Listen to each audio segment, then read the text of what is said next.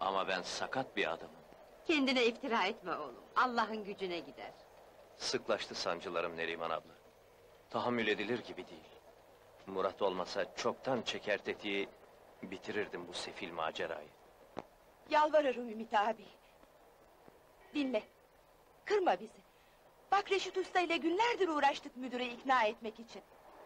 Hem sana hem Kadir Baba'ya iş verecek. Patrona da söylemiş. Tamam demiş. Kısa zamanda alışırsın evlat. Alışmak ne kelime? Bir seneye kalmaz ustabaşı olursun. Okumuş adamsın evladım. Yakışmıyor sana kahve kahve dolaşıp şarkı söylemek, avuç açmak. Ablacığım. Seni kırmak için söylemiyor anne. Ama hakkı var. Sağlam, onurlu bir iş buldum sana. Kendini düşünmüyorsan Murad'ı düşün. Hakkı var kızın. Bizim yanımızda kavruluyor yavrum. Ya Öyle yerlere girip çıkıyoruz ki... ...böyle bir çocuğun işi yok oralarda, değil mi evlat? Allah senden razı olsun abla. eksik olma. Senden de kızım. Senden de Reşit abi. Kabul.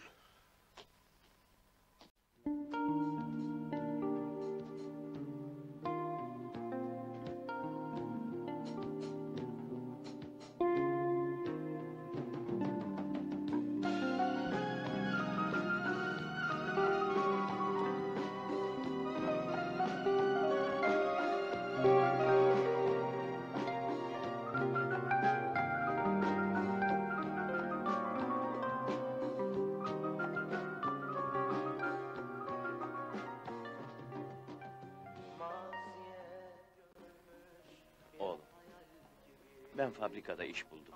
Çok sevindim babacığım. Sen hiç merak etme beni. Bak. iyi dinle. Hiç konuşma baba. Çocuk değilim ben. Koskoca erkeğim ben. Hadi geç kalacaksın.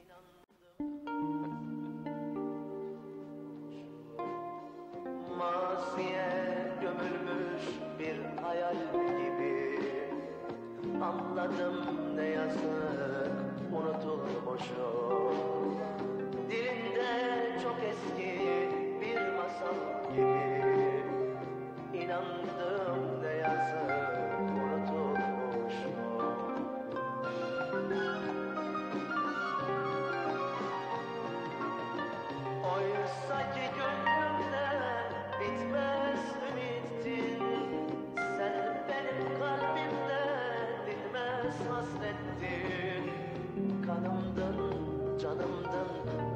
Shady.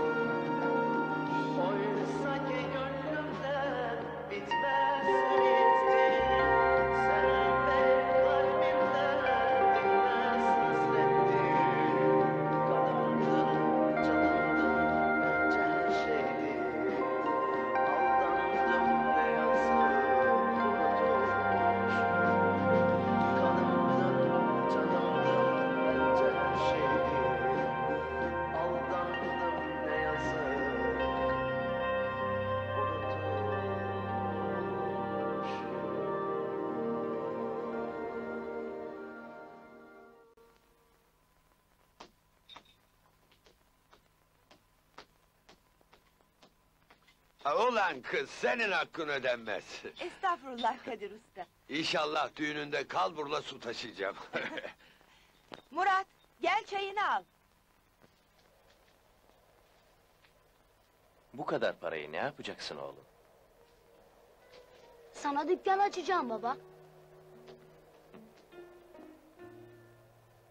gel önce çayını iç. Hadi gel. Bir dükkanımız olursa rahat ederiz değil mi baba? Tabii ederiz oğlum. Çok zengin oluruz değil mi baba? Oluruz oğlum, oluruz. Kadir amcayla sen dükkanda oturursun. Ben okula giderim.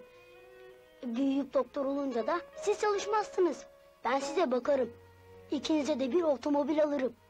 Ulan velet, beni unuttun mu? Sana da alırım tabii.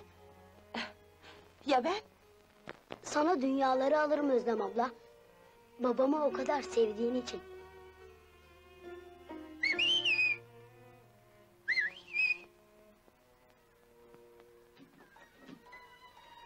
Arkadaşlar maça çağırıyorlar. Gideyim mi? Hadi git oyna oğlum.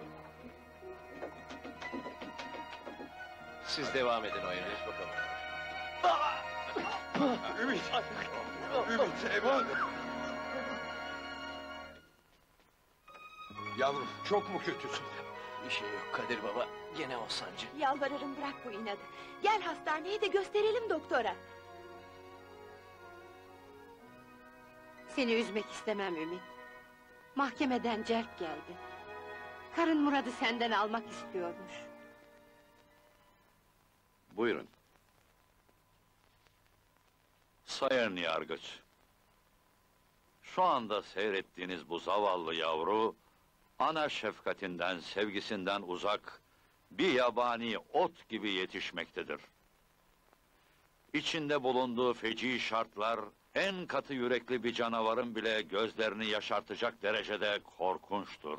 Küçücük yavrusunu en ağır yükler altında ezmekten çekinmeyen meyhane artığı bir babası var. Sayın Yargıç, burada öne sürdüğümüz iddiaların tümünü ispata hazırız. Elimizdeki resimlerle bu sefaleti gözlerinizin önüne sereceğiz. Sayın Yargıç, her şey zavallı yavrunun çektiği sefaletle bitmiyor. Murad'ın babası sakat, çaresiz, içinde hiçbir yaşam kıvılcımı kalmamış tembel, uyuşuk bir tip. Kahvelerde şarkı söyleyip sağa sola avuç açacak kadar küçülen bir zavallı.